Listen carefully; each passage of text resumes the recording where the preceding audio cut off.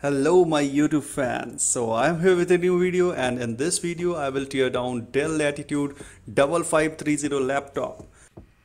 So the look and feel of the laptop is really good and it is completely made up of metallic body. This is an air inlet for cooling and uh, this one is the air outlet so the exhaust outlet will be that that one and this is the inlet.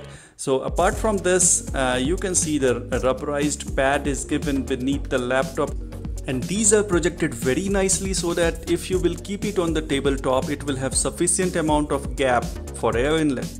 You can observe that the screen has ability to open up to the angle of 180 degrees which is of no use. I'm not sure why this is projected as a feature Anyway, this is having the physical camera shutter which you have to operate manually and this is very good feature for any laptop.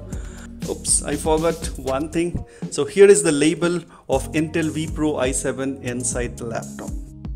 Uh, now let's quickly start for the teardown process. So all total it is having 8 screws on the back chassis. Uh, let me loosen all the screws quickly However, the best part is like I don't need to bother about keeping the screws carefully as it will remain attached to the back chassis. And this is the best feature what I have uh, observed in last two laptop I mean this laptop and my last video if you have observed that is regarding the Dell Latitude 5400 laptop teardown so I hope this will be implemented by other companies as well because this is very good property or feature of a laptop. So anyway let me make this fast forward for you to save the time. And in the meanwhile you can have a look on the laptop's specifications. You can pause the video to check it properly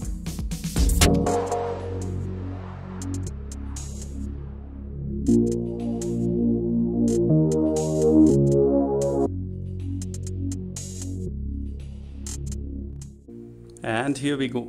So the back chassis has been detached successfully. And let me keep this apart. Uh, here is the internal view. Uh, let me show you the internal view of the back chassis. There are two speaker outlet ventilator and this is air inlet ventilator apart from this it is having the uh, body earth ground touch point. These are the touch points.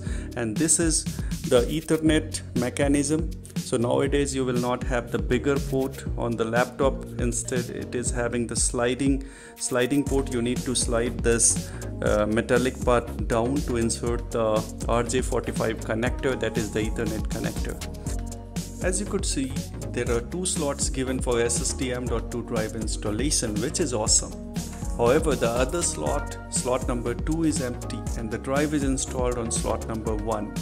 So based upon your requirement, you could connect another drive to slot number 2. This one is the slot number 2. So let me open up the slot number 1. I want you to see the drive how it is connected.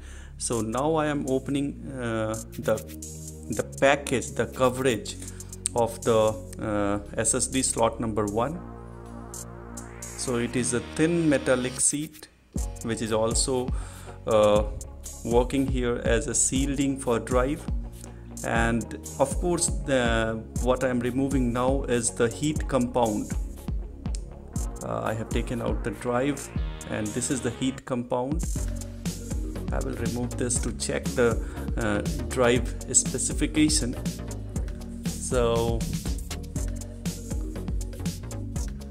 this drive is uh, like of Samsung brand 512 GB M.2 PCIe Gen 4 SSD. It is very latest drive and it is super fast. This is very good drive. You can see it is of Samsung brand. A very nice drive. So uh, I will remove the slot number 2 uh, cover as well to show you.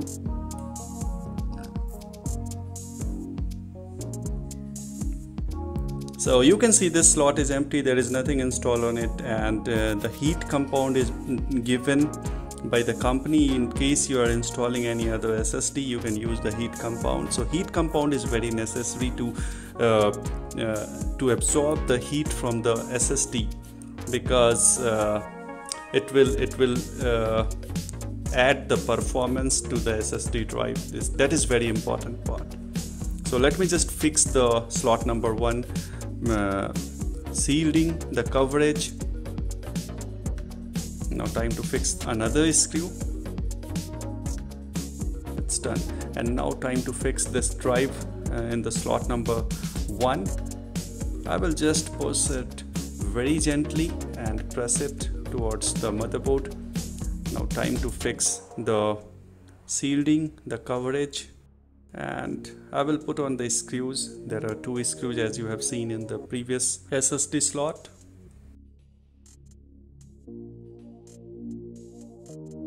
and these are the RAMs. This is Wi-Fi card. And this one is HDMI port. There are two USB port as well. And this is 3.5 mm jack. And this is micro SD card slot from inside. It is having additional protective uh, plastic layering. And this is RJ45 the ethernet port. These are the speakers positioned on the front side of the laptop bottom chassis. So these are stereo speakers. Hence these are installed on either side of the chassis and this is the battery the biggest part inside the laptop. This is of 58 watt hour means uh, around 3500 milliampere hour which is written over here. So this battery capacity is very low. However uh, it is giving the backup uh, in ideal condition. Let's say if you are doing web browsing it will give you the backup till 11 hour. And if you're watching any video it will give you backup until 8.5 hours however i have experienced if i'm doing rigorous work uh, with uh, uh, some graphical level of thing or gaming type of thing so it will give the backup of around 4 to 5 hours that's it. Now let's check the rams random access memory. So this ram is of samsung brand and it is of 16 gb uh, and this RAM slot is the second RAM slot means slot B and this is RAM slot 1 so this is also the identical RAM. It is also having 16 GB however you can extend it up to 32 GB means all total you can have 64 GB of RAM in this particular system. Oh hold on guys. I need to check one more thing. So this is the first time i'm seeing here uh, it is made in Vietnam. That's that's really uh, different for me. I mean, uh, basically these things. Whenever I have opened these type of things, or whenever I have observed the RAM, those are made in China or made in Korea. So you can have a close look of RAM over here. So you can see it is of Samsung brand, and one RAM is of 16 GB. Uh, so it is made in Vietnam. That's great. Let me just put it back to the RAM slot that's it now last but not the least is the heatsink and the exhaust fan you could clearly observe this heatsink is having dual pipe which will transfer the heat very quickly from processor and GPU to the fan. So I can say that this heatsink is of uh, very good quality. You can say uh, the combination of heatsink and the exhaust fan as a cooling unit. So cooling unit of this laptop is of very good quality and that's the great thing.